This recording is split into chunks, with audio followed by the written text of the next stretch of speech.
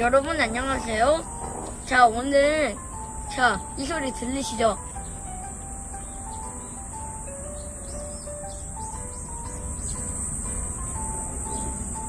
새 소리냐고요? 음 매미 소리입니다. 자 오늘 소개할 곤충은 말매미인데요. 자 한번 볼까요? 후, 이게 말매미입니다.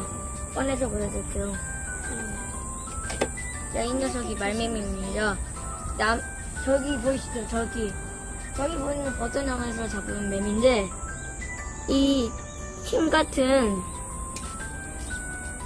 이, 부액을 빨아먹습니다. 다시 한번 보여주세요. 어떤 게? 지-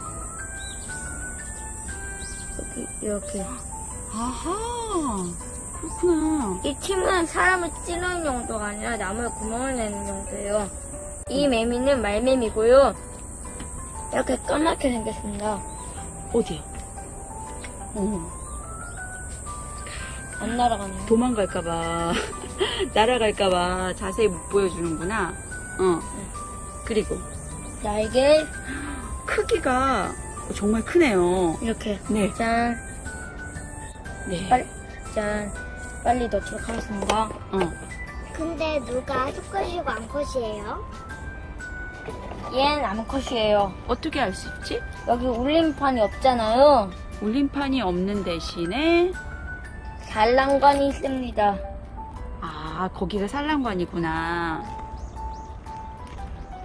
남, 응. 그럼 암컷이 오, 안 돼, 안 돼, 아씨.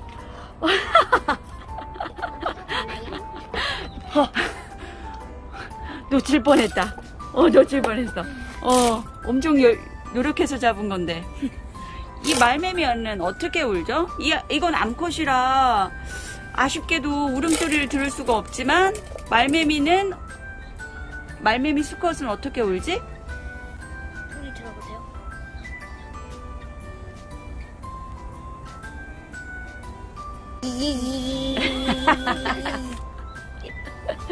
이런 음으로 오, 오랜 시간 동안 웁니다. 어, 말매미는. 네. 이 매미의 수명은 얼마일까요? 6달. 1년. 자 정답을 아시는 분은 댓글에 남기도록 할게요. 자 오늘 영상은 여기까지고요. 다음 시간에 봐요. 안녕. 자 이 매미는 성충 기간이 짧고 유충 기간이 길어서 짝짓기 오로지 짝짓기 를 위해 성충이 된다고 해요 자 그럼 매미를 놔주겠습니다 여기 우와.